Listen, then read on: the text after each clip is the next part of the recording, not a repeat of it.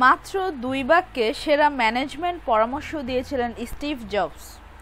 গত চল্লিশ বছরে সবচেয়ে প্রভাবশালী মানসিকতার একজন ছিলেন মার্কিন টেক জায়ান্ট অ্যাপলের প্রতিষ্ঠাতা স্টিভ জবস। তার প্রযুক্তির জ্ঞান এবং কীভাবে এটি ব্যবহার করা যায় তা আমাদের জাগ্রত জীবনের প্রতিটি মুহূর্তকে বাস্তবিকভাবেই অনুপ্রাণিত করে। আইফোন, আইপ্যাড থেকে শুরু করে অপারেটিং সিস্টেম এবং এমনকি অনন্য মার্কেটিং প্রচারণা সব কিছুই এখনও ফিরে আসছে। স্টিভ জবসের জ্ঞান শুধুমাত্র প্রযুক্তি ক্ষেত্রে সীমাবদ্ধ ছিল না, অন্যান্য বিষয়ও ছিল তার দক্ষতা এবং বিচক্ষণতা।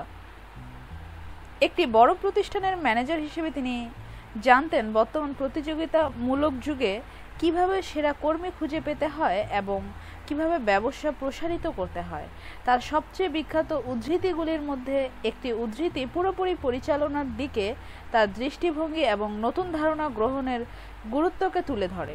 স্টিভ জবসের মতে, স্মার্ট ব্যক্তিদের নিয়োগ দিয়ে তাদের কি করতে হবে তা বলার কোনো অর্থ হয় না, বরং আমরা স্মার্ট ব্যক্তিদের নিয়োগ দেই যাতে তারা আমাদের কি করতে হবে তা বলতে পারে। সারা বিশ্বব্যাপী তিনশো পঞ্চাশটিরও বেশি অ্যাপল স্টোরে একশো কোটি আইফোন বিক্রি হয়েছে। আর এ থেকে বোঝা যায় স্টিভ জবসের অসম্ভব চিন্তাধারার ফলেই এমন সাফল্য অর্জন সম্ভব হয়েছে।